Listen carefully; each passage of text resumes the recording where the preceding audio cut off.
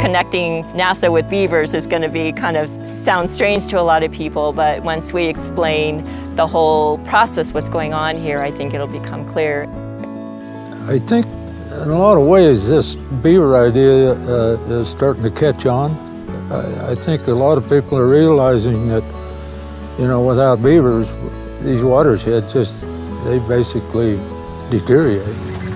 Jay is an Idaho rancher who worked with researchers to bring beaver back to his land in 2014. Within six years, there were more than 200 beaver dams along the creek, and the stream on Jay's property flowed 40 days longer into the year.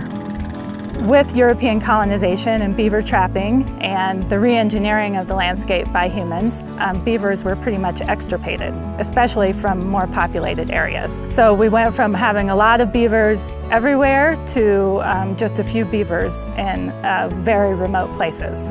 A NASA-supported effort is adding remote sensing data to a suite of tools used to predict which streams can support beaver rewilding and monitor how water and vegetation change once beaver return. The work that we were doing this morning was about trying to attract and lure beaver and what we're seeing up here in terms of then taking, you know, we built 25 fake beaver dams and now there's well over 200 of them. We treated a half kilometer, now they're covering five kilometers.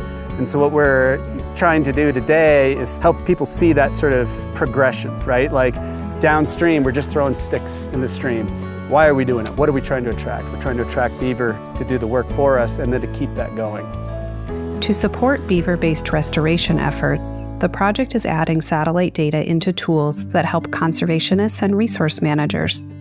The work that we're doing typically is kind of expensive. It takes a lot of uh, time and money to go out there and monitor these stream restoration projects, but if we can find ways to use these freely available data in replicable ways, maybe we can monitor these projects in more efficient ways for folks who are actually implementing beaver rewilding.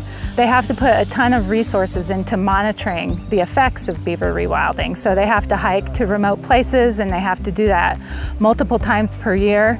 And so a lot of times that monitoring is not even really happening because it's just too labor and time intensive.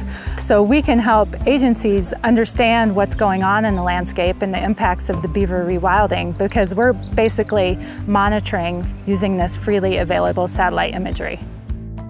How can we see changes on the landscape? And the satellite imagery can help us monitor those changes. So you can see what it looked like before you brought the beavers in, and then over time you look at the satellite imagery later on how things have changed, and you can actually measure that change um, using the satellite imagery. There's Idahoans who are doing this awesome kind of work that is improving the landscape. And by our involvement, we hope to both understand what's happening better, but also bring more attention to some of these folks who are really doing the work on the ground and um, making Idaho a, a better place to live.